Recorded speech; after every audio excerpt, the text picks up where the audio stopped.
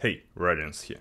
In this video, we'll learn how to create different layouts for different Next.js pages. We'll examine how this is done at increaser.org, which incorporates four layout variations. Although Increaser's repository is private, you can find all the code in the React Kit repository, as it also uses different layouts for the landing page and the remaining pages. We could use different layout components directly in the page component, However, the issue arises when we navigate between pages with the same layout. The layout ends up being re-rendered. This becomes problematic when you have a sidebar layout with a scroll and as you scroll down and move to another page, the scroll resets. Thus we need a method that allows different layouts for different pages while also maintaining the layout when we navigate between pages with the same layout for improved user experience. At Increaser, we implement four different layouts. Authorization pages that have the same top bar at the landing page, app pages with a sidebar, project pages that also contain additional navigation between projects,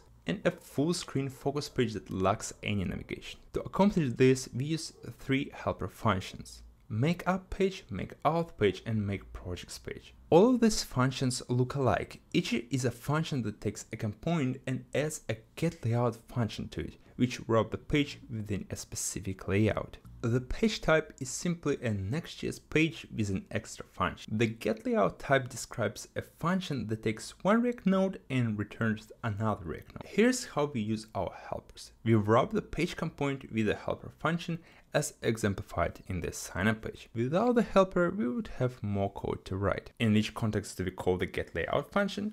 It will be the app.tsx file that called the getLayout function. If the page lacks a getLayout function like the focus page at Increaser, it will simply return the page component. Become an effective 10x programmer with my productivity app at increaser.org.